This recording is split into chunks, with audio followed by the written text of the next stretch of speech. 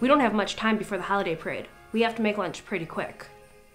What about those hot dogs in the fridge? We bought buns earlier this week. Don't you think Greta will mind? She's a dog. She's not gonna be offended. Come on.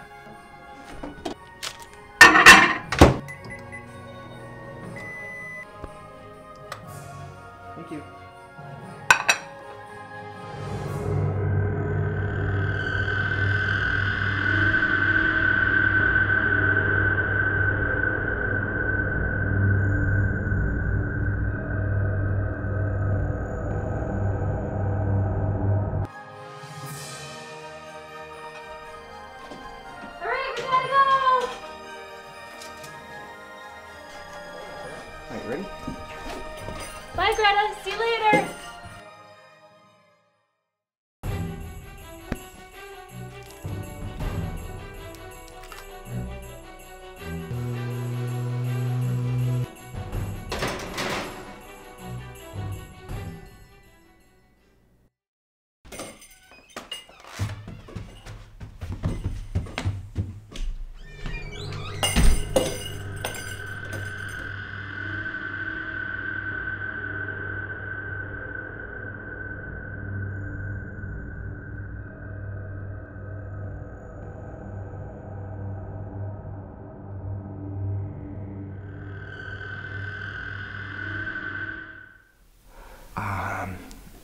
Maybe maybe no more hot dogs.